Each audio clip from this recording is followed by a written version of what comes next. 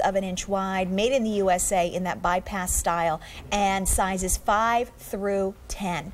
Welcome to QVC. You are live on the air with Renee Baguette. Pull it off. Take a look at this. You can really see the combination. Are you wearing one of each?